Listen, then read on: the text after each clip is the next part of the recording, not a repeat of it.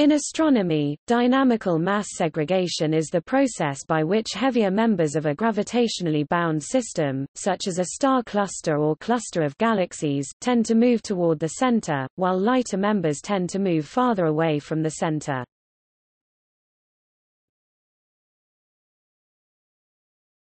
Topic: Equipartition of kinetic energy. During a close encounter of two members of the cluster, the members exchange both energy and momentum. Although energy can be exchanged in either direction, there is a statistical tendency for the kinetic energy of the two members to equalize during an encounter. This statistical phenomenon is called equipartition, and is similar to the fact that the expected kinetic energy of the molecules of a gas are all the same at a given temperature.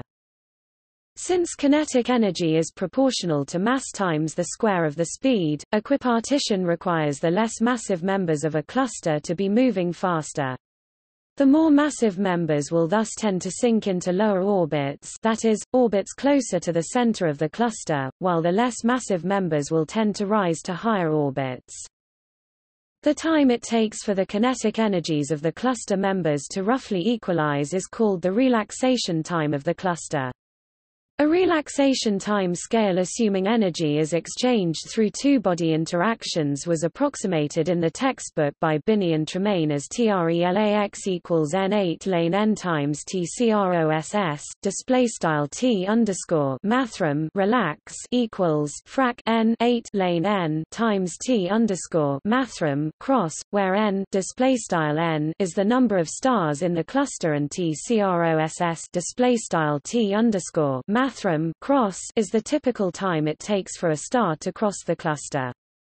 This is on the order of 100 million years for a typical globular cluster with radius 10 parsecs consisting of 100,000 stars. The most massive stars in a cluster can segregate more rapidly than the less massive stars. This time scale can be approximated using a toy model developed by Lyman Spitzer of a cluster where stars only have two possible masses m1 display style m underscore 1 and m2 display style m underscore 2.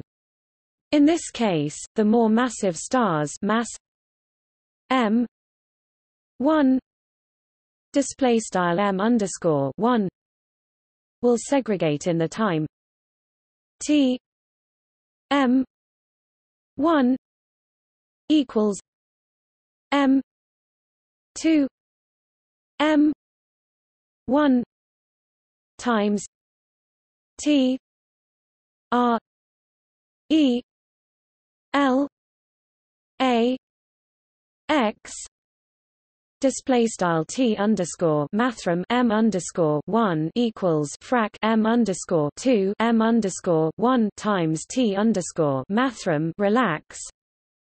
Outward segregation of white dwarfs was observed in the globular cluster 47 Tucanae in a HST study of the region.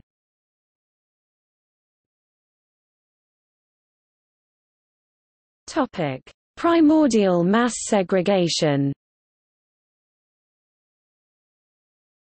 Primordial mass segregation is non-uniform distribution of masses present at the formation of a cluster. The argument that a star cluster is primordially mass segregated is typically based on a comparison of virialization timescales and the cluster's age. However, several dynamical mechanisms to accelerate virialization compared to two-body interactions have been examined. In star-forming regions, it is often observed that O-type stars are preferentially located in the center of a young cluster.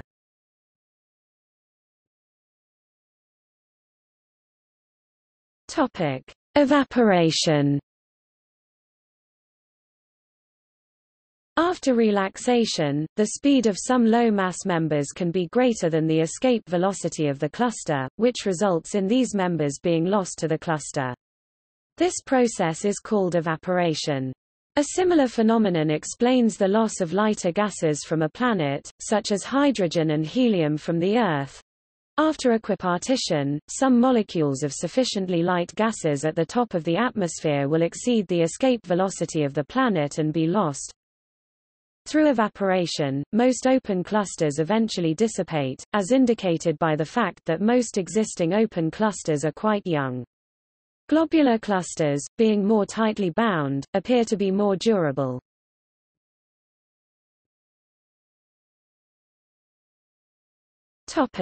In the galaxy The relaxation time of the Milky Way galaxy is approximately 10 trillion years, on the order of thousand times the age of the galaxy itself. Thus, any observed mass segregation in our galaxy must be almost entirely primordial.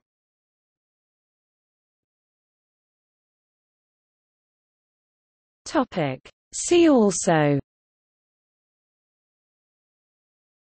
N-body problem. Virial theorem.